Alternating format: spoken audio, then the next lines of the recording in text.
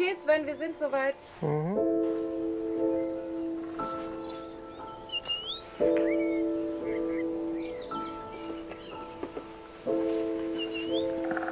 Gut, dann können wir starten. Mhm. Stufe.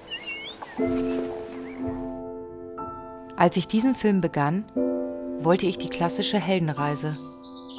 Mein Held war Sven, ein taubblinder Mann, der sich vorgenommen hatte, 800 Kilometer durch Spanien zu laufen. Denke? Ja? Hier bin ich. So, jetzt sind wir auf dem Jakobweg. Ja, genau. Das erste Mal hat er ja vor etwa 20 Jahren davon geträumt. Und jetzt ist er hier, unglaublich. Als ich diesen Film begann, wollte ich in die Welt eines Taubblinden eintauchen. Und das tat ich.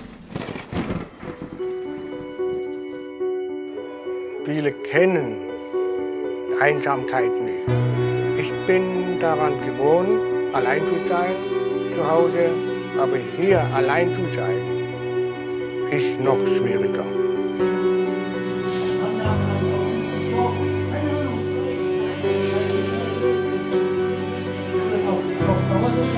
Ich muss früher abbrechen und heimfahren, weil ich das mit dem Streiten nicht länger aushalte. Ich suche dich, damit ich dich behalten kann. Ich brauche dich. Ist das ein Wort für dich? Ich brauche dich.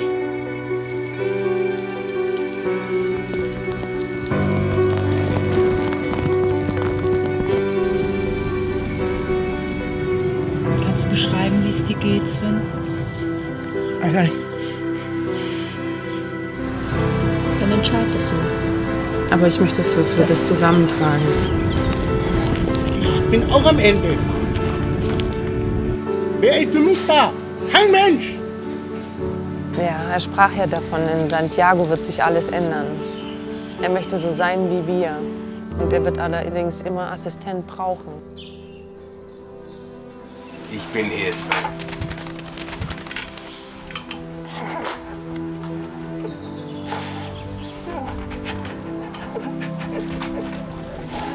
Ich glaube nicht, dass es schafft. Also ich glaube nicht, dass die Assistenten das schaffen werden. Sven, wo liegt dein Problem? Ich verstehe es nicht. Wieso misstraust du uns? Svens innerer Kampf in Dunkelheit und Stille offenbarte mir eine bittere und erschreckende Wahrheit.